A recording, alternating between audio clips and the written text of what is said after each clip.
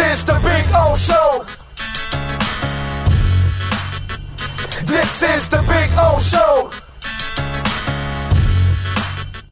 All right. Don't forget, folks, at Caneswear, use our code Big O10. You will get 10% off anything in the store. And if you don't live close by, you can order online over $99. You will get free shipping and use our code Big O10.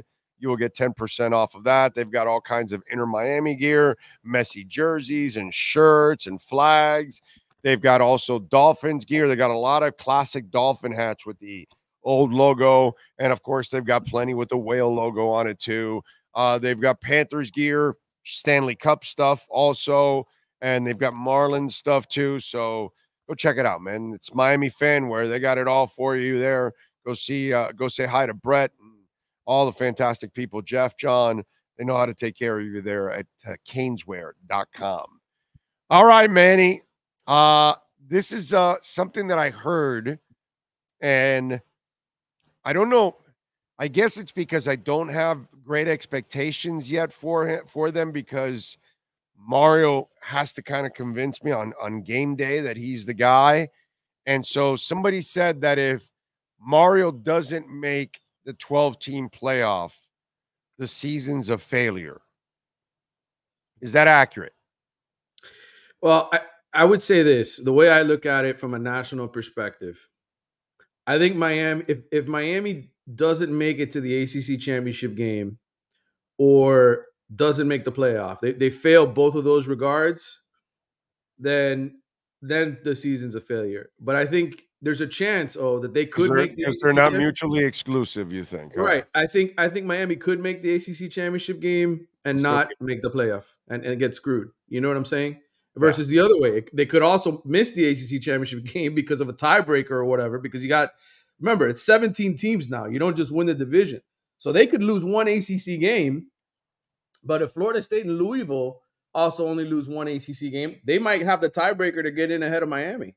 Right. So it's just, you know, and then they could still make the playoffs. So it, there, there's so many different variables. So to me, I think the blanket way to say it is if they don't at least make the ACC championship game, then they better make the playoff, right? There better be an either or. One of the two has to be accomplished. And I think So in other, in other in other words, they have to make some kind of a postseason.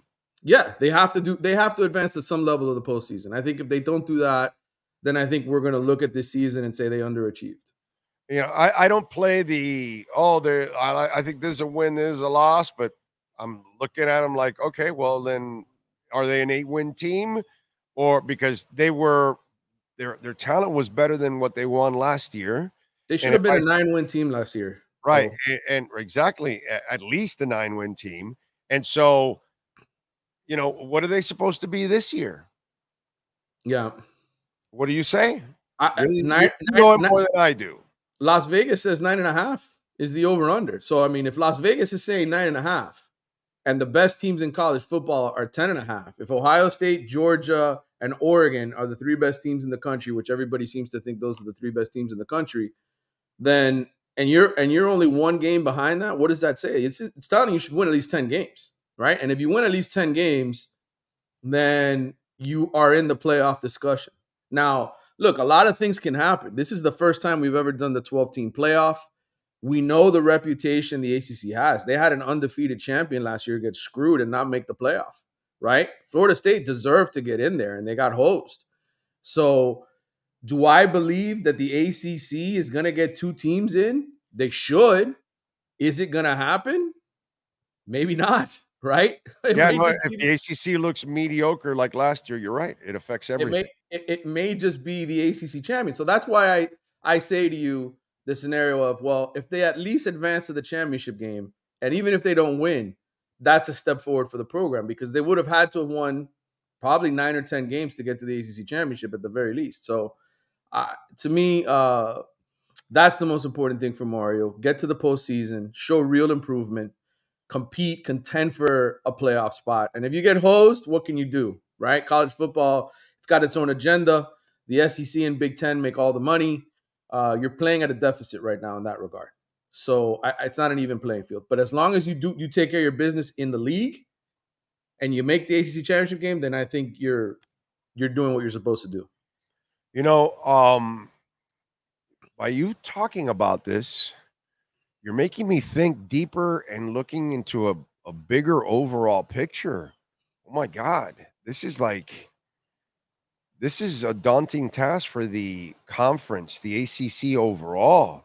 They as a whole need to load up as much talent as possible. They as a as a, overall as a as a group need to go out and have a lot of success and rattle a lot of trees and rattle the voters and say, hey, hey, hey, guys, yeah, those conferences might be making more money, but we got some teams here that can kick their asses. And if the ACC is not performing in the overall stage, yeah. uh, you're also burying your own conference and you're also really distancing yourself as number three from number one and number two. So uh, it's almost imperative that the ACC, it's not just UM and Florida State and Clemson, the obvious ones, but others that that they need they need to lift all ships there. They need to make sure that they are as as deep and as successful as possible if they ever want to get back some power. You're absolutely right, and and I think you know, unfortunately, we live in an era now where where where the TV is really the one that runs college football. Oh, and uh, oh. you know, Fox and ESPN paid a lot of money uh, to to to broadcast these games, and they influence the people who make the decisions, who make the playoffs. So uh, I, I would say you're playing at a huge disadvantage, which is why you know, people used to make fun of the SEC, right? You would hear SEC chants, right? You'd go to a, the basketball postseason, you start hearing SEC chants, and they're all sort of rooting for each other. Um, it, it, it matters. It matters in the overall image of your of your league to have like you need Clemson to go and play Georgia tough, if not beat them in the first, you know, the first game of the season for those two teams. Miami's playing Florida. That's a huge ACC SEC reputation game. And you know, the SEC, look, they've been the best conference for a long time now. Oh, uh, you know, people talk about oh, it's the SEC and Big Ten.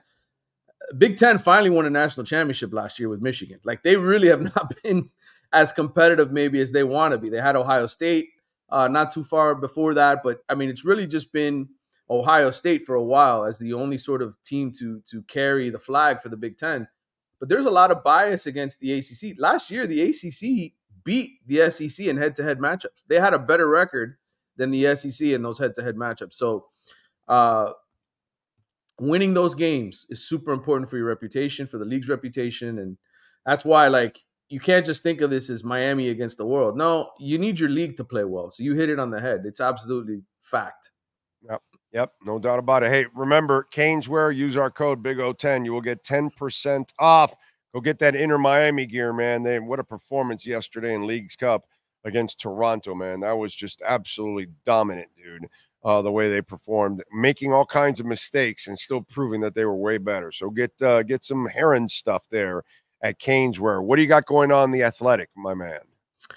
Oh, listen, uh, there's I've been all preseason stuff, man. Like just we're we're all trying to crank out preseason content. You know, we've got profiles. I, I had to do one on Florida State because they're considered the favorite to win the F uh, to win the ACC. So we had, we're doing team profiles on the 12 contenders, right? For the for the 12 playoff spots. I did a big one on Florida State. Um, I'm doing uh, ACC previews.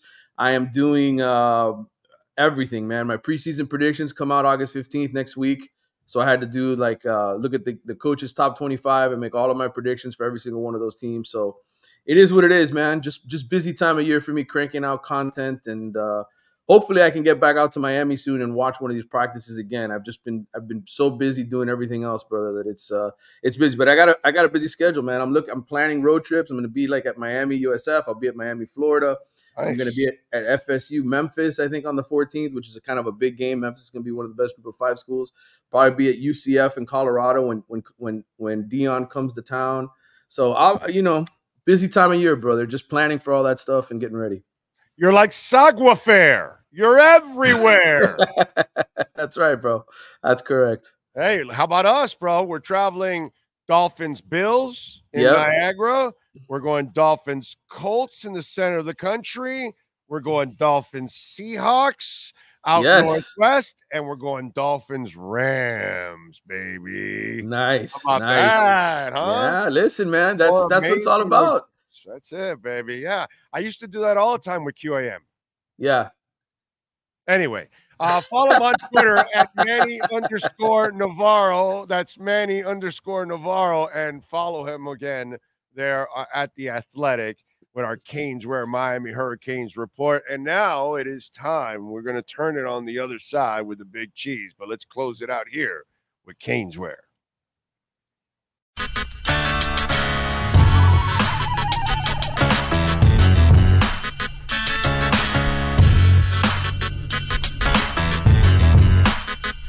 is the Big O Show.